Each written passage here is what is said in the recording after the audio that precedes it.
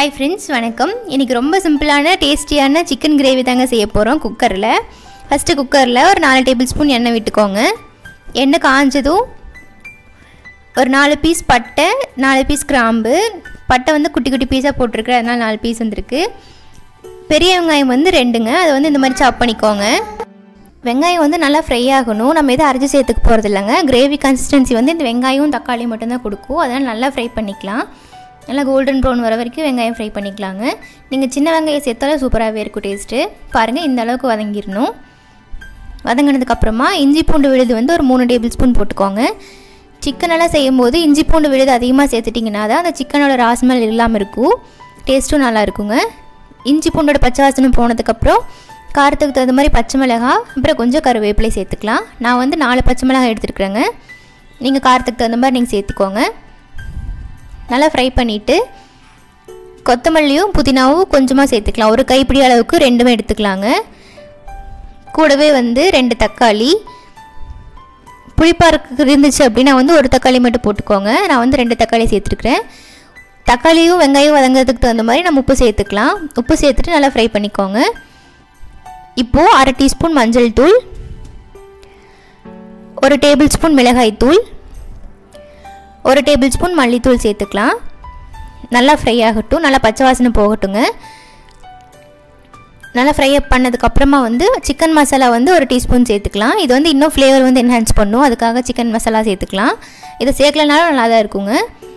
இது எல்லாத்தையுமே வந்து நல்லா ஃப்ரை பண்ணிக்கணும். பச்சை வாசனை இல்லாமல் இப்போ பாருங்கள் நம்ம போட்ட வெங்காயம் தக்காளி எல்லாம் வந்து நல்லா சூப்பராக மசிஞ்சு வந்திருக்கு. இந்த டைமில் வந்து நம்ம சிக்கன் உள்ளே சேர்த்துடலாம். நான் வந்து ஒரு அரை கிலோ கொஞ்சம் மேலே வந்து அதிகமாக சிக்கன் போட்டிருக்குறேங்க. சிக்கன் நீங்கள் வந்து எந்த அளவுக்கு எடுக்கிறீங்களோ அந்த அளவுக்கு நீங்கள் மசாலாஸ் வந்து டபுள் பண்ணிக்கோங்க. இப்போ நம்ம தண்ணி எதுவும் விட போகிறதில்ல பற்றிக்கு நல்லா ஃப்ரை பண்ணிக்கலாங்க. அந்த மசாலாவோட நல்லா சிக்கன் வந்து கோட் ஆகணும். இப்போது அந்த கிரேவிக்கு தேவையான அளவுக்கு உப்பு சேர்த்துட்டு நல்லா ஃப்ரை பண்ணிக்கலாம். கேஸ் வந்து லோ ஃப்ளேமில் வச்சுக்கோங்க. அப்போ தான் வந்து சிக்கன் நல்லா சுருண்டு வரும். நல்லா ஃப்ரை ஆகி வரும். மசாலாஸ் எல்லாம் சிக்கனில் இறங்குங்க. ஒரு பத்து நிமிஷத்துக்கு அப்புறம் வந்து பாருங்கள் கிரேவியும் சிக்கனும் ஒன்றா வந்திருக்கு. நல்லா ஃப்ரை ஆனதுக்கப்புறம் ஒரு கப் மட்டும் தண்ணி விட்டுக்கலாம். உங்களுக்கு கிரேவி வந்து எந்த அளவுக்கு வேணுமோ தண்ணி அந்த அளவுக்கு விட்டுக்கோங்க. நான் கொஞ்சம் திக்காக இருக்கணும் அப்படிங்கிறதுக்காக ஒரு கப் மட்டும் விட்டுருக்குறேன். இப்போ குக்கரில் நம்ம செய்ய போகிறதுனால ஒரு மூணுலேருந்து நாலு விசில் வச்சா கரெக்டாக இருக்குங்க. கிரேவி கரெக்டாக கன்சிஸ்டன்சியில் இருக்கும். சிக்கனும் நல்லா வெந்திருக்கும். இப்போ பாருங்கள் எண்ணெயெல்லாம் மேலே பிரிஞ்சு வந்து சூப்பராக கம கமன்னு சிக்கன் கிரேவி வந்து ரெடி ஆயிடுச்சு. நம்ம எந்த மசாலாவும் அதிகமாக சேர்த்துக்கல. வீட்டில் இருக்கிற மசாலாவே தான் சேர்த்து சேர்த்துருக்குறோம். டேஸ்ட் வந்து அவ்வளோ சூப்பராக இருக்குங்க. இது சாதத்துக்கும் நல்லாயிருக்கும். இட்லி தோசையிலேருந்து சப்பாத்திக்கு சூப்பர் காம்பினேஷனுங்க நம்ம சட்டுன்னு செய்யணும்னு நினைக்கும் போது இதை வந்து ஈஸியாக செஞ்சு முடிச்சிடலாம்.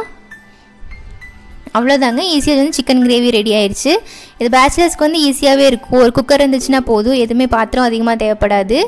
சிம்பிளாக செஞ்சு முடிச்சிடலாம். ஆறுனதுக்கப்புறம் வந்து கொஞ்சம் திக்காகுங்க கிரேவி அதுக்கு தகுந்த மாதிரி நீங்கள் தண்ணி அட்ஜஸ்ட் பண்ணி விட்டுக்கோங்க. நான் வந்து சப்பாத்தி கூட தான் சர்வ் பண்ணேன். அவ்வளோ சூப்பராக இருந்துச்சு. சிக்கன் அவ்வளோ வெந்து சூப்பர் ஃப்ளேவராக இருந்துச்சு. நீங்களும் ட்ரை பண்ணி பார்த்துட்டு எப்படி இருந்துச்சுன்னு சொல்லுங்கள் தேங்க்யூ